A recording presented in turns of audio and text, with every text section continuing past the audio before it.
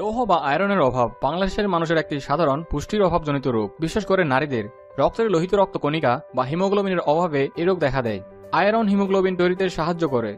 শরীরে আয়রনের অতিরিক্ত অভাব রক্তশূন্যতা তৈরি করে, যার ফলে সৃষ্টি হয় নানা রোগের। কিন্তু অনেকেরই এই রোগটি সম্পর্কে কোনো ধারণা নেই। এই ভিডিওতে আমরা দেখাবো এমন কিছু লক্ষণ যা আপনাকে বুঝতে সাহায্য করবে আপনি লৌহ বা আয়রনজনিত অভাব রোগে ভুগছেন কিনা। প্রথমে দেখা যাক লক্ষণ যদি হয় অতিরিক্ত ক্লান্তি। হিমোগ্লোবিন রক্তে অক্সিজেন পৌঁছে দেয়। তাই এর অভাবে মানুষের সাধারণ কাজ করার ক্ষমতা হ্রাস পায়। স্বাভাবিকের চেয়ে কম কাজ করার ফলেই শরীর অতিরিক্ত ক্লান্তি বোধ করে। রোগী দুর্বল ও খিটখিটে মেজাজের হয়ে কাজে মনোযোগ দিতে পারে না।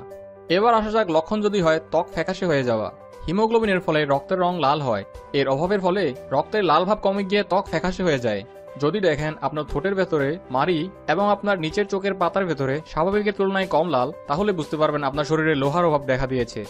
এবার দেখা যাক লক্ষণ যদি হয় দ্রুত শ্বাস প্রশ্বাস রক্তে অক্সিজেন কম পৌঁছানোর ফলে মানুষ স্বাভাবিকের চেয়ে দ্রুত শ্বাস প্রশ্বাস ফেলে। দম ধরে রাখতে পারে না, হার্টবিট দ্রুত হয় এবং সিঁড়ি বেয়ে উঠতে প্রচণ্ড সমস্যা হয়। এতে শরীর ক্লান্ত ও হাঁসফাঁস লাগে। এবার দেখা যাক লক্ষণ যদি হয় অতিরিক্ত চুল পড়া।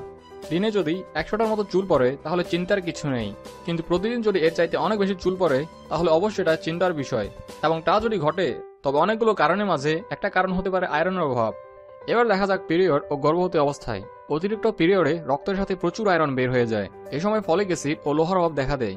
গর্ভবতী অবস্থায় প্রায় সব নারী এই রোগে ভুগে থাকেন। কেননা, গর্ভের শিশু মায়ের শরীর থেকে প্রয়োজনীয় পুষ্টি সংগ্রহ করে। তাই যদি মায়ের খাদ্য তালিকায় পরিমাণ মতো লৌহ সমৃদ্ধ খাবার কম থাকে, তাহলে মা লোহার অভাবে ভোগে।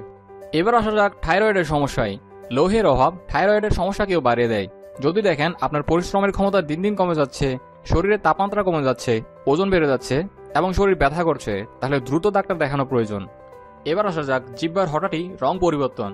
আয়রনের অভাবে জিব্বা ফ্যাকাশে হয়ে মাঝে মাঝে কালশিটে পড়ে, ডানা ওঠে, আকারে পরিবর্তন হয়, কখনো অতিরিক্ত মসৃণ হয়ে যায়। খাদ্য তালিকায় সঠিক পরিমাণ আয়রন না থাকলে হজম প্রক্রিয়াকরণের সমস্যা হয়, পেট ব্যথা হয়, শরীর সঠিক পুষ্টি পায় না। সব বয়সের মানুষের সমান আয়রনের প্রয়োজন নেই। উনিশ থেকে পঞ্চাশ বছর বয়সের মধ্যে নারীদের সাধারণত প্রতিদিন আঠারো মিলিগ্রাম আয়রন প্রয়োজন। গর্ভবতীদের প্রয়োজন সাতাশ মিলিগ্রাম পর্যন্ত। এছাড়া পিরিয়ডের সময় আয়রন বেশি প্রয়োজন। প্রতিদিনের খাবারে চার গ্রাম করে ডাল, শাকসবজি, বিশেষ করে কচু ও কচু শাক, গরুর মাংস কলিজা এবং কলা আয়রনের অভাব পূরণে কার্যকরী ভূমিকা রাখে।